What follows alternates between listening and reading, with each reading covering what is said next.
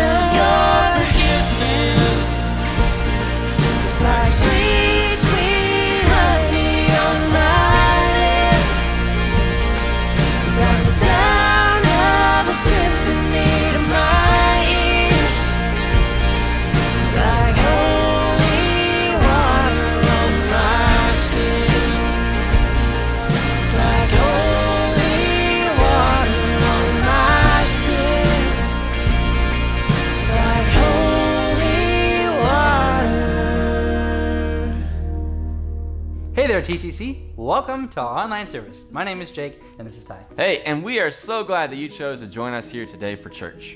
We are in our second week of our new series, Beauty for Ashes, and this series will take us all the way through to Easter Sunday. And speaking of Easter, I'm so excited about this because we are going to take advantage of our beautiful lawn. Also known as the Shady Oak Campus. That's Pretty right. It is super sweet. And we're going to come together with all of TCC for an outdoor service on Easter Sunday. That's right, it's gonna be awesome. So awesome. Cannot wait. We're also going to hold our Good Friday service at the Shady Oak campus on April 2nd. We will have more details on that in the next few weeks, so stay tuned. You don't want to miss that. And for now, just mark your calendars and tell your friends to join us on April 2nd for Good Friday and April 4th for Easter. And if you're not comfortable attending outdoor gatherings, no problem. We'll be bringing you an Easter service right here online as well. One more thing before we throw it back to the band. If this is your first time tuning into TCC today, I want to extend our warmest welcome to you and say thank you so much for joining us today. If you have any questions, prayer requests, or would like to know more about TCC, please feel free to contact the office at any time, and we'd love to speak with you. Well, it's impossible to look outside these days and not feel overwhelmed with gratitude, respect, and quite frankly, just awe at God's creation. And I can think of no better response to that feeling than to pour out our hearts in worship for all that He has done for us through creation, through the cross, and through the salvation freely offered to each one of us. We give Him all the glory and praise. And I invite you to join us now as we sing together. Take it away, worship team.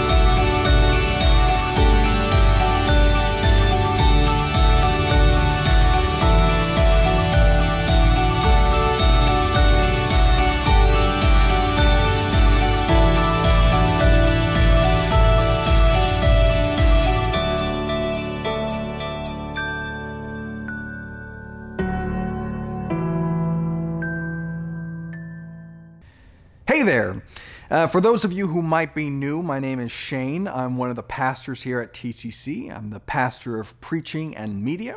Thanks for joining us today. Beauty for ashes.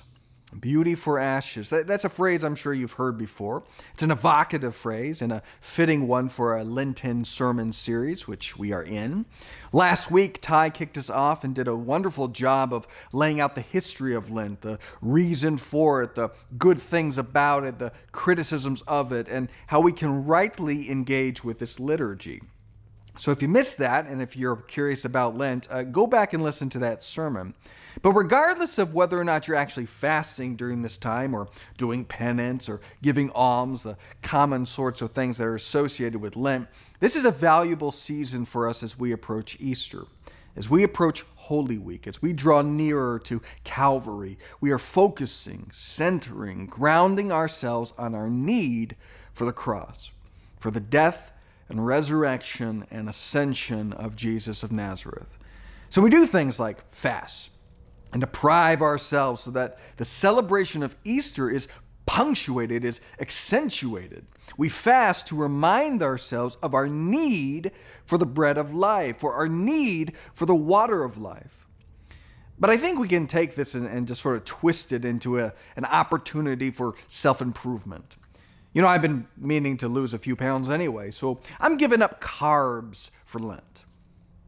No, uh, Lent is not a diet plan. Lent is not a New Year's resolution.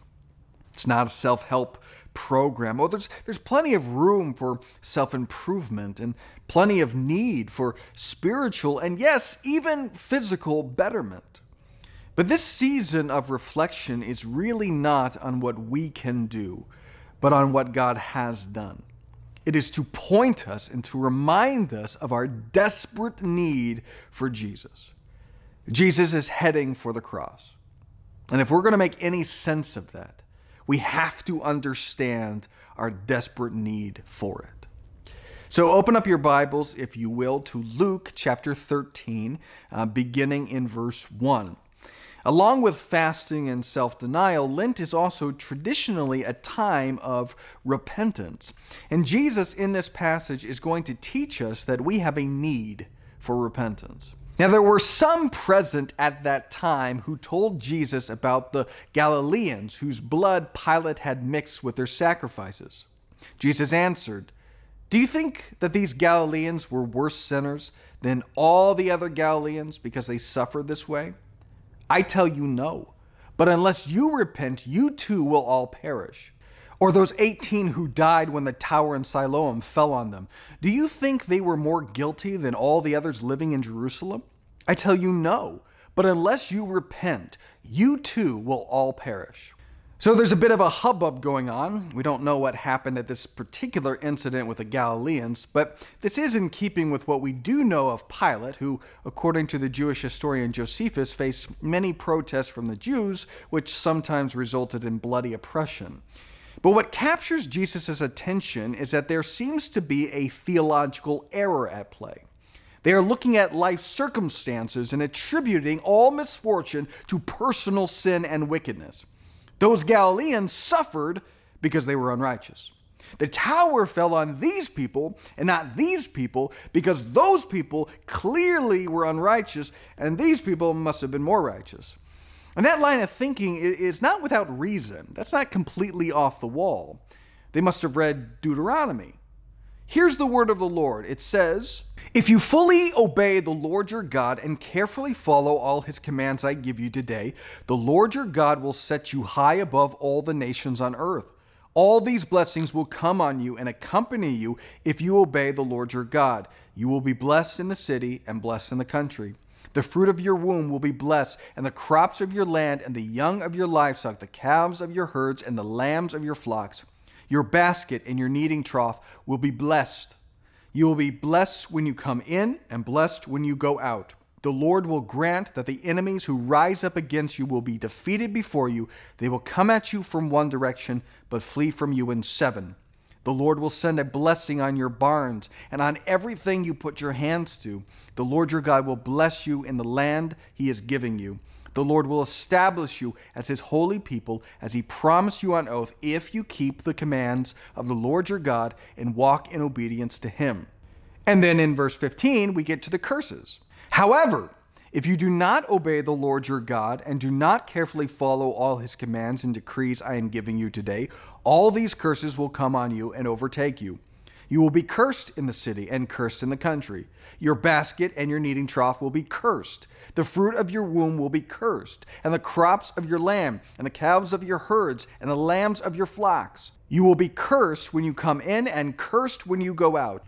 The Lord will send on you curses, confusion, and rebuke in everything you put your hand to, until you are destroyed and come to sudden ruin because of the evil you have done in forsaking Him.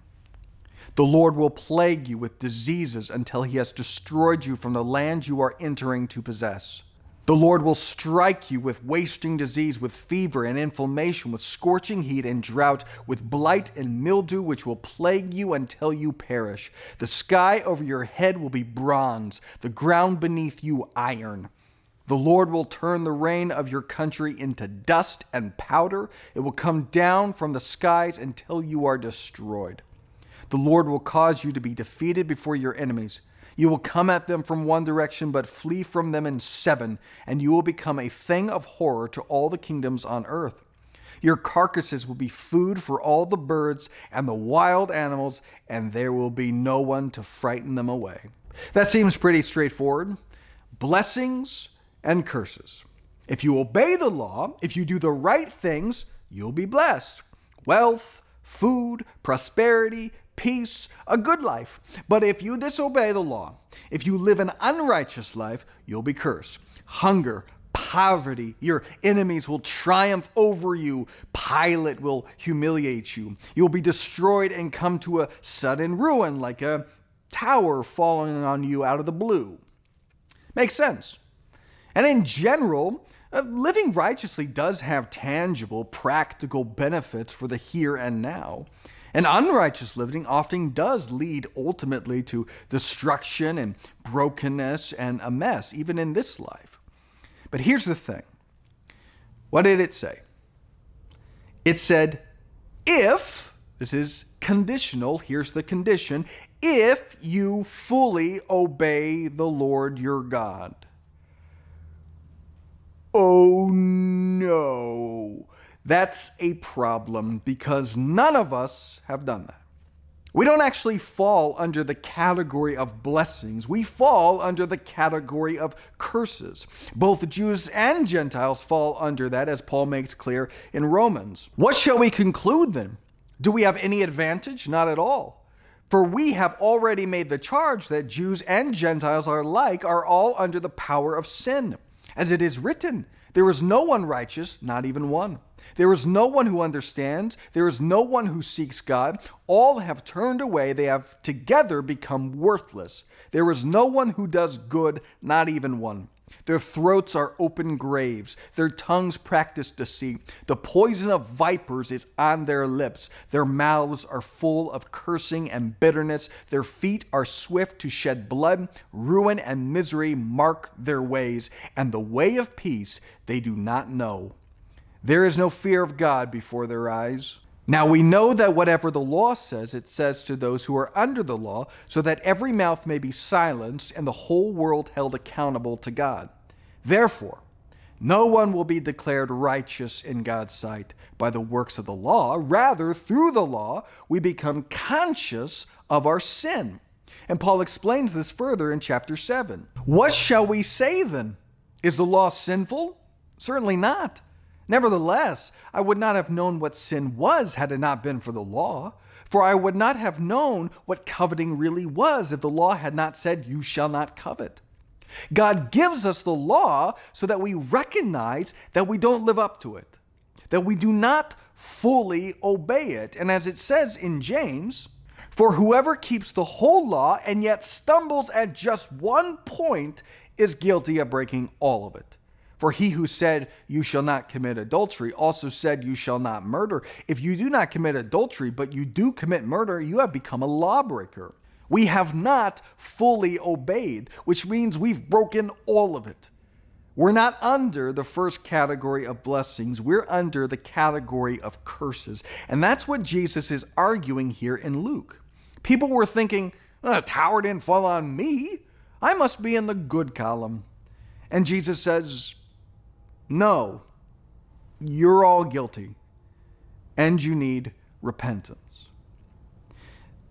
Do, do you think that you're more righteous than others? Do, do you stack up pretty well? You know, you look around. I, I stack up pretty well, you know. And I, I'm doing pretty well for myself too. And that's that's because unlike others, I made the right kind of choices. You know, I, I didn't mess up my life. I didn't get involved in gangs. I didn't commit crimes. I didn't do drugs. I waited till marriage to have children, right? Lived righteously. That's why a tower didn't fall on me like it did other people. Of course, their lives are messed up. What would you expect? Look what they did. Look at the choices they made. I mean, they really need repentance. I mean, yes, we, we, all need repentance. We all need forgiveness. We all need Jesus. I just don't need him as much. Is that how we view ourselves? See, just like the people in Luke, um, we can place ourselves in the wrong category because of life circumstances and congratulate ourselves on our own righteousness and lose sight of our desperate need for repentance and forgiveness. You think you're more righteous? You look good compared to others? Uh, how about Job? How do you stack up against Job? Here's how God describes Job. One day the angels came to present themselves before the Lord, and Satan also came with them. The Lord said to Satan, Where have you come from? Satan answered the Lord, From roaming throughout the earth, going back and forth on it. Then the Lord said to Satan, Have you considered my servant Job? There was no one on earth like him. He is blameless and upright, a man who fears God and shuns evil. That's how God describes Job blameless, upright, no one like him. But then uh, God permits Satan to torment Job. He loses all of his wealth, all of his children are killed, and he loses his health. And Job is naturally perplexed by this, going, I, I don't understand. I didn't do anything. And his friends are kind of going, Well, you know, it kind of looks like a tower fell on you, so.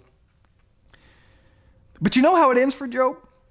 This blameless and upright man who fears God and shuns evil, you know how it ends for him? In repentance in repentance. Job 42, verses 5 through 6. These are the last words of Job when he meets God. He says this My ears had heard of you, but now my eyes have seen you. Therefore, I despise myself and repent in dust and ashes.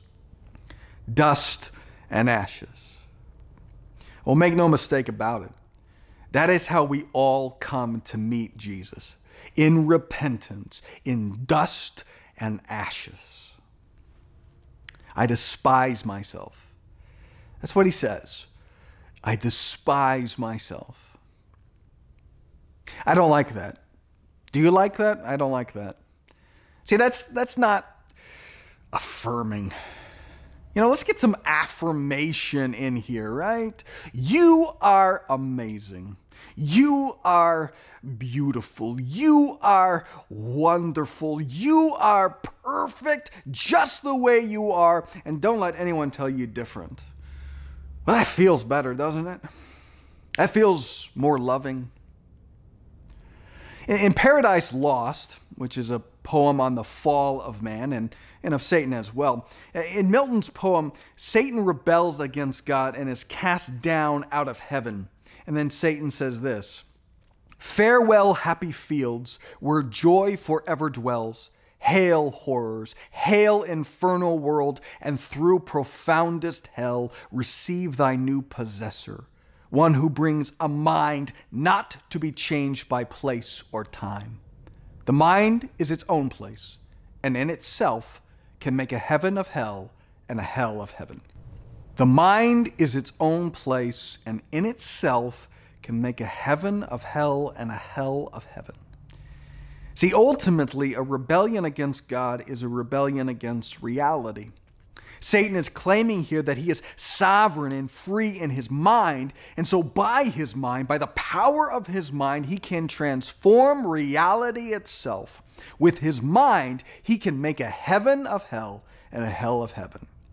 Or to use another piece of classic literature, uh, in the book The Witch, the Gargoyle, and the Perfectly Perfect Man, the perfectly perfect man is not really perfect. He's actually the villain. And in the story, he gives this monologue on how he became perfect. He says this You want to know how I became perfect? I spoke it into being. I said I was perfect, and I said it loud enough and long enough until I realized that I had always been perfect. People are always getting it backwards. They think that self improvement is the means to perfection. But obviously, that's a contradiction in terms. If you need self improvement, then you are admitting that there is something in yourself that needs improvement. And ipso facto, if there is something in you that needs improvement, then you are far from perfect. Therefore, the only way to be perfect is to admit that you already are perfect and that you need no improvement. The real trick is to squash any negativity. The world may call you ugly, the world may call you fat, the world will say all manner of horrible things about you, but don't believe their lies and embrace your perfection. Unsurprisingly, that kind of thinking leads to his demise, and it will lead to ours as well. You know, that may seem incredibly silly, but it really is the thinking of our world. We are a world, we are a people that calls good evil and evil good that says boys can be girls and girls can be boys, that we can transform reality itself by the power of our minds. We can make a heaven of hell and a hell of heaven. And we think that liberating ourselves from God will elevate us. See, if I admit God's existence, then I'm subject to Him, and that diminishes me. If I admit that I need a Savior, then I'm not sufficient and that diminishes me. If I admit that I need repentance and forgiveness, then I'm in the wrong, and that diminishes me. Oh, better just to reject all of that, and then I won't be diminished, and I won't be shamed. I can make hell into heaven and heaven into hell. But it doesn't work. It doesn't work. Reality asserts itself in the end. Our ears have heard of God, but one day our eyes will see him. We think that liberating ourselves from God will elevate us, but it does nothing of the sort. You know, later on in Paradise Lost, Satan says this Me miserable, which way shall I fly? Infinite wrath and infinite despair. Which way I fly is hell. Myself am hell. Satan wanted to elevate himself, and all he did was fall lower and lower. Jesus warns us in Matthew chapter 23 verse 12. For those who exalt themselves will be humbled, but those who humble themselves will be exalted. Unless you repent, you too will perish. See, repentance requires, repentance demands that we admit who we are. At the start of Lent on Ash Wednesday, we repeat the words that God, our Father and Maker and Sovereign, said at the fall of mankind For dust we are, and to dust we shall return. We admit our mortality. We admit our weakness. We admit our frailty. We admit the consequences of our sin for which we have no answer. We are desperate. Uh, listen to these words from Lamentations. He has broken my teeth with gravel. He has trampled me in the dust. I have been deprived of peace. I have forgotten what prosperity is. So I say, My splendor is gone, and all that I had hoped from the Lord. I remember my affliction and my wandering, the bitterness and the gall. I well remember them, and my soul is downcast within me. Yet this I call to mind, and therefore I have hope. Because of the Lord's great love, we are not consumed, for his compassions never fail. They are new every morning. Great is your faithfulness. I say to myself, The Lord is my portion, therefore I will wait for him. The Lord is good to those whose hope is in him. To the one who seeks him, it is good to wait quietly for the salvation of the Lord. It is good for a man to bear the yoke while he is young. Let him sit alone in silence. For the Lord has laid it on him. Let him bury his face in the dust. There may yet be hope. I actually like the NASB translation better. I think it's more accurate too. It's why I put it in the bumper video. Let him put his mouth in the dust. It's like you can taste it, right? That kind of humility, that kind of desperation. Oh, oh don't make it theoretical. Don't make it symbolic. No, our sin puts us in that position where all that we can do is put our face in the dust because we got nothing but ashes. And yet, what does Jeremiah say in Lamentations? Let him bury his face in the dust. There may yet be hope. There may yet be hope because of the Lord's great love and his faithfulness and his compassion. You know, J- Jeremiah never saw Jesus of Nazareth, but his hope was in him. What he's crying out for, what he's desperate for, is Jesus of Nazareth. And that is our cry too, and our need, as the Apostle Paul proclaimed in Romans 7. What a wretched man I am! Who will rescue me from this body that is subject to death?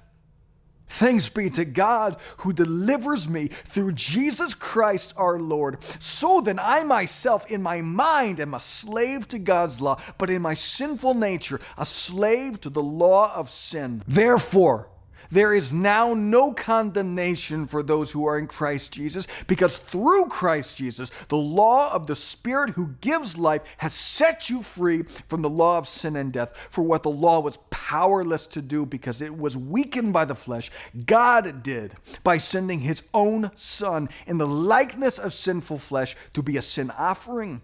And so he condemned sin in the flesh in order that the righteous requirement of the law might be fully met in us who do not live according to the flesh, but according to the Spirit. God takes on flesh. He comes down into the dust with us, and He raises up to new life and restores us because of His love and His kindness and His compassion. He gives us beauty for ashes. When God first made man, it says this in Genesis. Then the Lord God formed a man from the dust of the ground and breathed into his nostrils the breath of life, and the man became a living being. And God said that it was good. But we wanted to elevate ourselves to be like God, and so we sinned and fell back into dust. But Jesus comes to us. He takes on our sin and he dies in our place, but his body did not see decay. It doesn't turn to dust. No, he rises from the dead and he meets his disciples and he says this. Again, Jesus said, Peace be with you. As the Father has sent me, I am sending you. And with that, he breathed on them and said, Receive the Holy Spirit. And the Holy Spirit shows up dramatically in Acts. It says this Suddenly, a sound like the blowing of a violent wind came from heaven and filled the whole house where they were sitting. We remember that we are dust, and to dust we shall return. But thanks be to God who does not leave us in the dust. But because of his great love and compassion, we have hope if we claim our desperate need for Jesus. And because he is faithful, he breathes on us His Holy Spirit once more and brings life back into dust. Let's praise Him.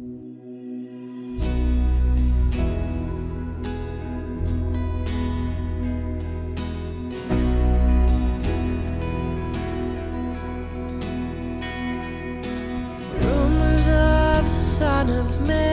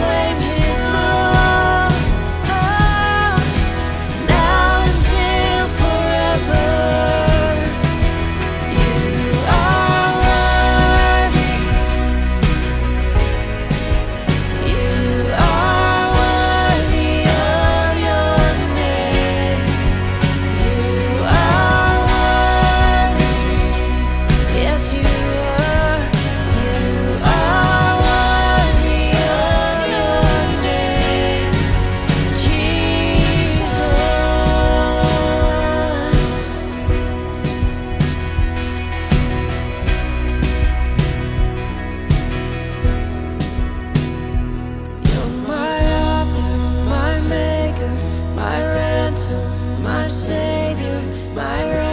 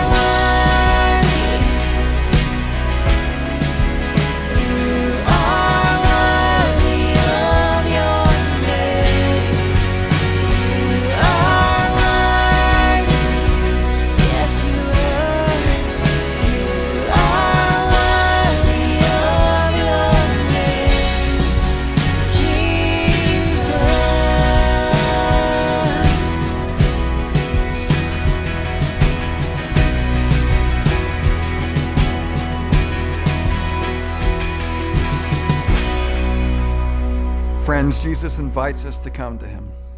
He is willing to take our sin, to take our failings, to take our ashes, but we must come to him on his terms. We need to recognize that we need him, recognize that we need forgiveness.